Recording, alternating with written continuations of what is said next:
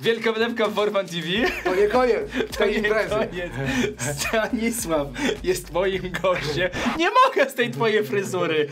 Z ostatnie mam resztki włosów, to jest wiesz, Tak, ale łysiejesz, nie? Tak, to jest już koniec.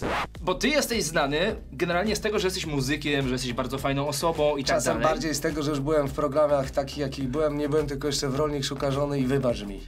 Ale to przecież jeszcze przyjdzie czas na to, nie?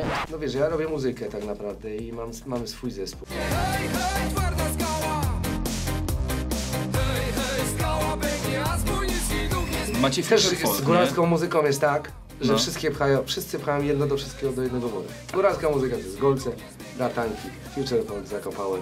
My robimy kompletnie inną muzykę, no nie? To później ludzie przychodząc na koncerty wiedzą. Fajne, że A dowiadują ktoś przychodzi na te koncert. koncerty? Oczywiście, zawsze jest grono tak. Yy, koło gospodyń wiejskich. Siedzą jak na roratach, to jest tata. Ty, a ty potrafisz śpiewać? Czy zaśpiewałbyś na przykład, nie wiem, Zbigniewa Wodeckiego albo czy Bardzo Justina bym go chciał kiedyś no? zaśpiewać, aczkolwiek wiadomo, że barwa góralska i brzmienie jest, No. jest od razu charakterystyczne. Nie zawsze to dobrze brzmi w tego typu kawałkach, bo, bo mamy, my ponad, po nas słychać od razu, że my mówimy Johibi zaciągnięcie góralskie jest. No i Tak, ale ten twój Jochip to...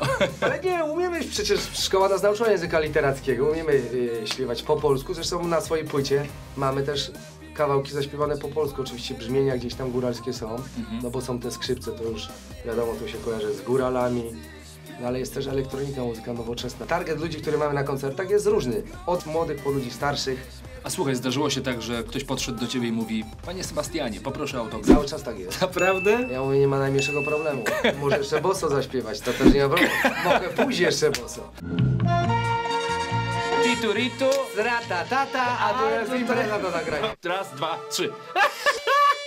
Jadę z góralem.